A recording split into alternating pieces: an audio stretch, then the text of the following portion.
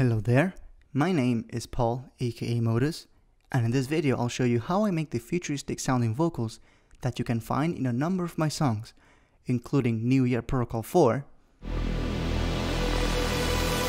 Improve. Engage. Evolve. New Year Protocol 3,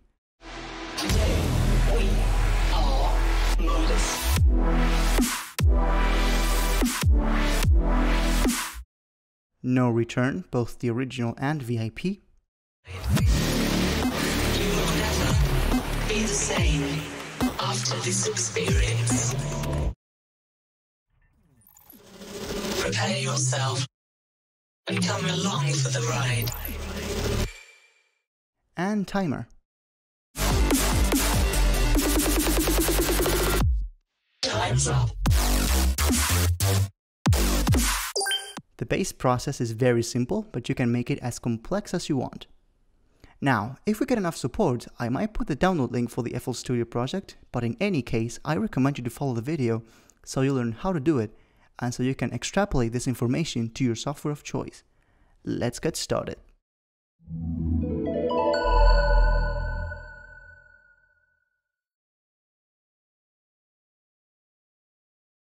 First of all, you need a raw vocal sample. You can record it on your own using your mic, in which case you can skip to the following timestamp. Or you can do what I did, which is browse for text to speech apps online. In my case, I often use voices from Acapela Group, which sound pretty cool and fitting for what I usually do. Now, go to the text box and type in your message. You can sort of cheat your way around if you can't get a certain word to sound right. Once you get what you want, go ahead and open any recording software. I like to use Audacity, but you can use whatever you want. Set the program so it records the audio coming from the PC. Once you're all set, hit the record button and play the voice sample. Very professional test for a very professional tutorial. When you're done, just export it as a lossless WAV file and we're on to the next step. Now, once you're in your favorite DAW, you're going to need 5 mixer tracks. This amount can vary depending on the number of layers you want to add, but for the sake of this video, I'm gonna keep it at 5. Now, rename your mixer tracks. The first one will be modulator, the second one, carrier, the third one, vocodex, the fourth one, original layer, and the final one, end result. Of course, you can rename them however you want, but it's important that you know what's on each track, so that's why I'm doing this. Now, follow me closely. Route modulator and carrier to vocodex, and vocodex and original layer to end result. Make sure to select route to this track only. You should have something like this. Right after that, go ahead and assign your vocal sample to the first track, the modulator. I will come back to this in a moment. Now go to the Vocodex mixer track and insert the Vocodex plugin. First of all, turn the wet knob all the way up. Now you'll see these number boxes up here which say mod and car, which stand for modulator and carrier. Set the modulator to 1 and the carrier to 2. This means the plugin will be taking the signal from the first mixer track, which is where your voice sample is, and will be modulating it with a carrier signal that I'm about to get to. If you've done this correctly, when you play your sample back, it should sound like it's whispering at you. Now, go to your channel rack and insert any instrument you like. In my case, I found the best results with Sytrus and a pan flute preset.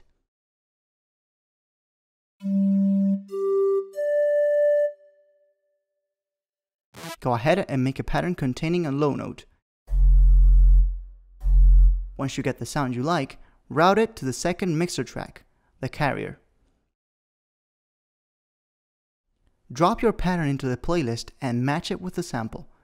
Play it back and the vocodex should already be doing its job. Very professional test for a very professional tutorial. If you don't like some of the harmonics the carrier generates, you can always subtract them with an EQ. Very professional test for a very professional tut. Very professional test. Very professional test for a very professional tutorial. Very professional test for a very professional tutorial. Alright, remember the original layer track we were talking about at the beginning of the video? We're gonna put that to use now. Go ahead and make a duplicate of the vocal sample, and this time route it to the original layer mixer track. When you hit play, you will hear the original sample on top of the one with the vocoder. Very professional test for a very professional tutorial. The reason I add this layer is for additional naturalness and more flexible intonation, as opposed to just having the artificial sound of the Vocodex layer alone. Now, go ahead and insert an EQ and high pass it to around 500 or 600 Hz, just so you can only hear the higher overtones of the sample. Then, detune it using a chorus effect. In my case, I'm using Fruity Chorus, which comes built in with FL Studio. And once you've done that, it should sound something like this. Very professional test for a very professional tutorial. As an additional way to make it even more natural, go back into the carrier pattern and do some portamentos so it goes up and down while it's playing. If you want it to be extra natural, you can try and match the original intonation using the portamentos on your pattern.